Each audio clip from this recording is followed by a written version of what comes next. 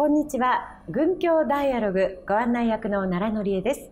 今日はチェロ奏者のバンナナコさんにお話を伺います。バンさんよろしくお願いいたします。よろしくお願いします。早速なんですが、はい。バンさんと音楽との出会いというのはいつ頃でした？はい。えっと、母がはいまずピアノの先生だったので、もう3歳の時からピアノをやってましたね。で、もう自然にこう音楽をやってた感じ。もしかして音楽一家だったりする？そうなんですよね。俗に言う音楽一家で。はい。おじい様も音楽に関わってらっしゃったと聞いておりますが。はい。はい。あの、祖父が、えっと、オーボエをやってまして、あの、N 教でオーボエをやってたんですけれども、なので、私も小学校3年生の時からオーボエをやらされたというか、やっていました。ピアノが3歳、はい。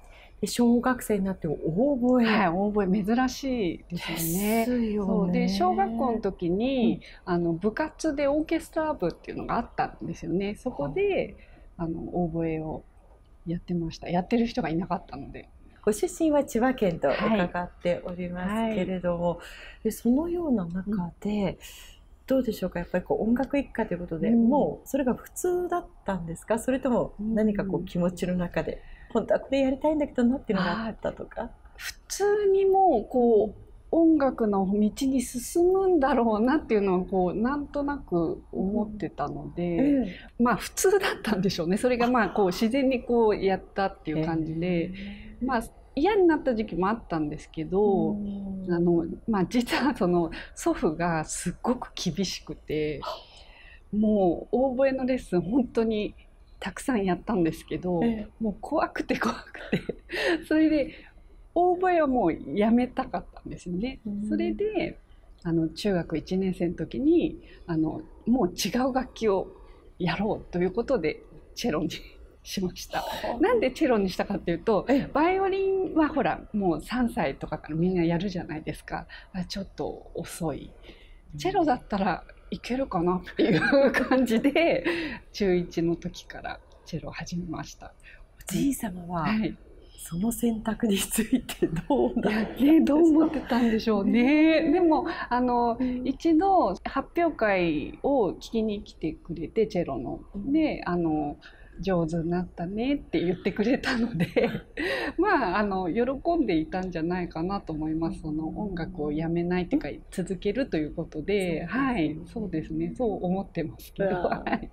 そんなバンさんのうん。人生のターニングポイントとなった出来事というのはどんなことですか？はい、えっ、と留学してた時に、はい。あのハンガリーのブダペストにあの2年間留学してたんですけれども、えっ、とその2年間の留学を終えてあの日本にも帰国するかまたはもうちょっと留学していようかっていう時に、あの札幌交響楽団のオーディションがあるっていうのを知りましてそれであの受けに帰ったんですね。でまあ合格したっていう感じで、まあ、そこであのやっとこう就職っていうことで、あのオーケストラにこう就職できて、まあ、あ本当に幸せでしたその時は。はい、夢が叶った、はい、そうですね。えーはい。そして2001年からはい。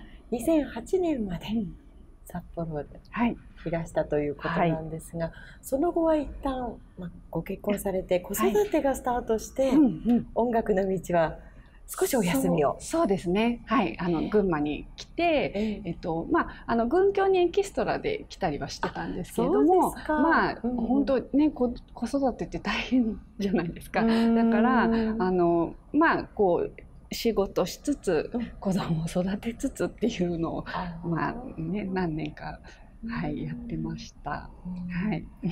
まあ、その後軍協とのこう出会いになっていくわけですけれども、うんでは、そのチェロでまさに軍協のオーディションをはい。受けた、そうです。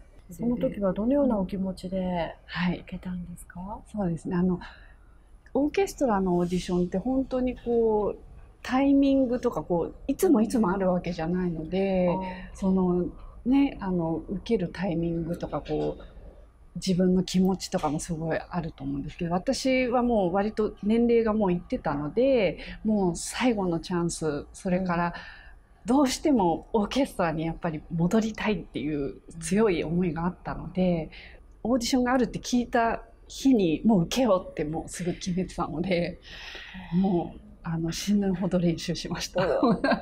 人生で一番練習したかもしれません。本当かけてたんでもうそのくらいの思いであと軍教に入りたいって思いも本当に強かったと思いますね自分で。あの軍教の定期演奏会に本当いっぱい私聞きに来てたんですけれどもやっぱ聞いていいなって思うのと同時にあっちに戻りたいっていうそういう思いが本当に強くあったのでだからまあオーディションはチャンスだったしもうあの人生かけて頑張らなきゃっていうその気持ちはもう今でもなんか私よく頑張ったなって本当に本当に思うしなんか入れてよかったなって本当に思うし今すごい充実して幸せです。本当に。はい群馬交響楽団の定期演奏会でパンさんの演奏を聴くのも楽しみになってまいりました、はい、最後に群響の演奏のどんなところを皆さんにご堪能いただきたいと思いますか？そうですね。えっと私もあのね、定期会員の皆さんと同じぐらいあの群響の演奏を聴きに来てたのであのやっぱりオーケストラって、ね、生の演奏は本当にあのグッときますし、うん、地元に根付いてて素晴らしいなっていうのも本当にあの群馬に住んでからずっと感じてるので群馬交響楽団のこれからの勢いのある演奏を皆さんに楽しんでいただきたいしまたあのアグレッシブなチェロセクションをですね 皆さんにあの見ていただきたいなと思います。アグレッシブなアグレッシブなチェロセクション。いやも楽しみにしております。はい。今日は軍教チェロ奏者のバンナナコさんにお話を伺いました。バンさんありがとうございました。ありがとうございました。